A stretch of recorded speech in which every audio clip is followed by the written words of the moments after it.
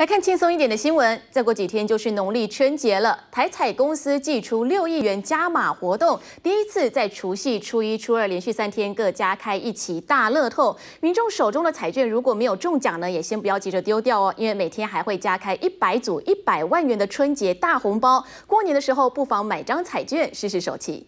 彩券行前大放鞭炮，喜气洋洋。五号晚上开奖的大乐透头彩就在这里开出，南投县的一路发彩券行一亿元头彩一人独得，为即将到来的新年添了好彩头。彩券行六号上午在门口煮汤圆，免费分送庆祝，彩券买气也大幅提升。哎，这财神这一拜，啊，你那手那传到更多啊？啊，你唔知哦，今年春节财神不休假，啊，大家拢要赶来上财来哟。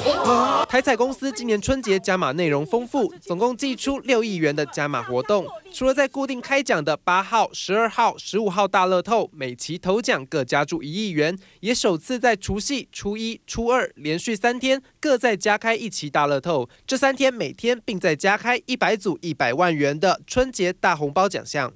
那我们说，假如我们是一百万的话，那更开心啦。好，所以呢，我们就把两亿的加码呢分成两半，一半就是传统的加在头奖上面。